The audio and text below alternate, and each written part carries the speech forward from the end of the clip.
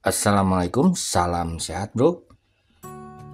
Di video saya mengenai cara kalibrasi modul ini Ini nih modulnya kalau tidak salah tipenya ZK4KX ehm, Bang Ade bertanya Apakah kalibrasi arus Membutuhkan arus 1 ampere? Dari pertanyaan ini saya yakin dia ada masalah Atau kalibrasinya ngaco jadi kita belajar saja sambil belajar kita coba saja. Saya juga belum mencoba. Uh, saya rasa tidak perlu sampai 1 ampere kecil juga bisa. Tapi umumnya meter-meter yang ada di pasaran paling kecil 10 mA oke kita coba saja saya rangkai dahulu. Oke, ini beneran sama-sama kita coba. Dari pertanyaan itu jelas ada yang aneh, kemungkinan modulnya rusak atau kemungkinan salah. Kita coba saja saya ada LED yang sudah saya beri resistor 1 kilo kalau tidak salah ini. Saya cek dahulu. Ya benar resistor 1 kilo. Oke saya kecilkan dahulu. Saya coba saja. Ini akan saya tunjukkan bahwa LED itu menyala. Arusnya ini sudah terang sekali ini sebetulnya kalau untuk sebagai indikator. Jadi untuk kalian belajar juga saya kecilkan dahulu Kalian lihat bagi para pemula bahwa LED ini bila digunakan sebagai indikator kita bisa menggunakan tegangan yang kecil dan arus yang kecil. Kalian perhatikan pada tegangan 1 volt dengan resistor secara seri 1 kilo tentu tidak menyala sama sekali karena arusnya 0. Kemudian karena ini LED ini akan digunakan sebagai indikator kita coba saja. Jadi kalian sekalian belajar khusus bagi para pemula kalian lihat sudah mulai menyala tapi tidak terlihat. Saya nyalakan kira-kira yang kira-kira terlihat menyala. Ya seperti ini. Kalian lihat dengan resistor secara seri 1 kilo dengan tegangan 2,17 volt arus tidak sampai 1 mA sudah menyala. Paham ya bro?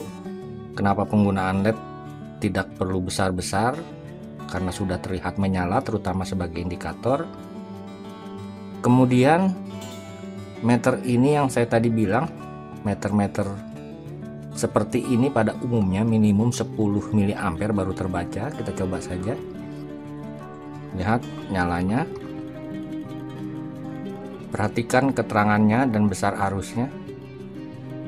Dan kalian lihat juga arusnya sudah 5 mA tegangan 7 volt dan di sini tidak terbaca. Ingat memang standar meter-meter seperti ini minimum 10 mA kita coba. Saya naikkan sampai terbaca. Masih belum terbaca.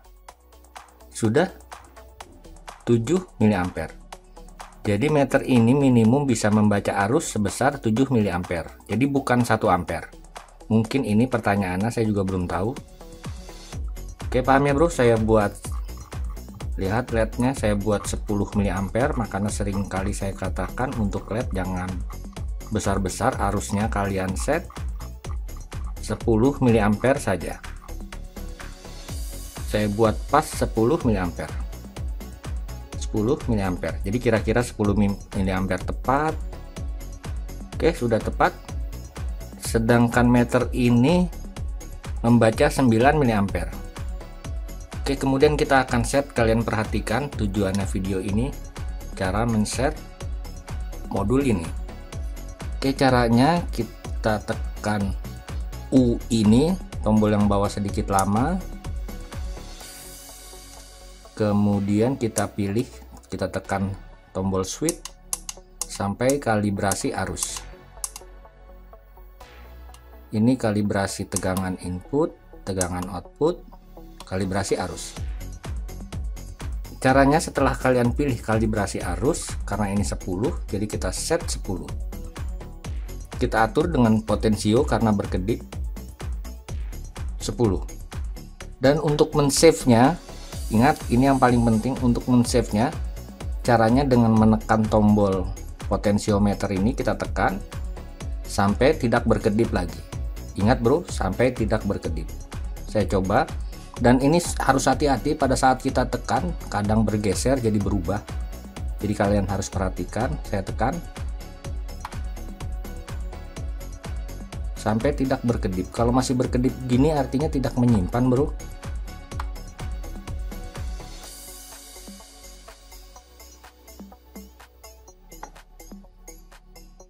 Tidak menyimpan. Oke rupanya tidak bisa memang mungkin arusnya terlalu kecil. Sekarang saya coba pakai beban yang sedikit besar. Saya persiapkan dahulu. Oke bro.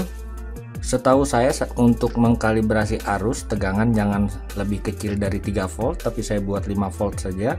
Ini saya menggunakan bulb. Dan arusnya terbaca 380 jadi saya buat ini memang sedikit kurang tepat jadi ini saya buat oke anggap saja ini 381 mA jadi ini kita set 381 mA oke kita tekan UI sedikit lama kemudian cari kalibrasi arus. Ini 383 Oke. Kemudian kita set sesuai ini dimisalkan bila meter ini tepat 3 uh, eh, ini sebetulnya sudah tepat bro. Ini masih masuk toleransi. Oke akan saya set tidak tepat saja. Jadi saya set kita buat saja misalkan tidak tepat.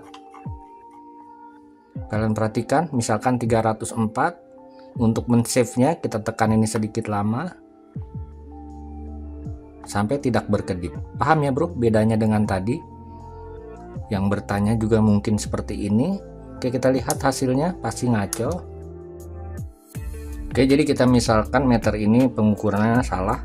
Harusnya 384 atau 383 ini terbaca 300 miliampere. Kemudian kita akan kalibrasi caranya tekan UI sedikit lama kemudian tekan switch sampai ketemu kalibrasi yang akan kita kalibrasi.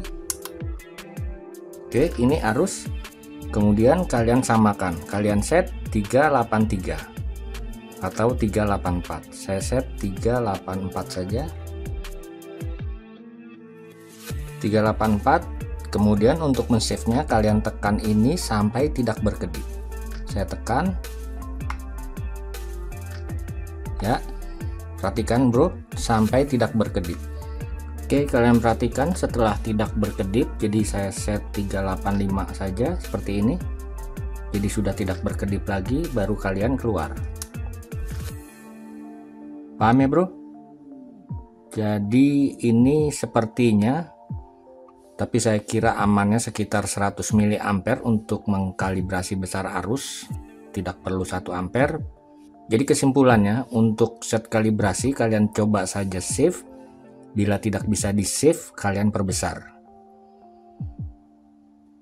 Oke terima kasih telah berkunjung. Salam sehat. Wassalamualaikum warahmatullahi wabarakatuh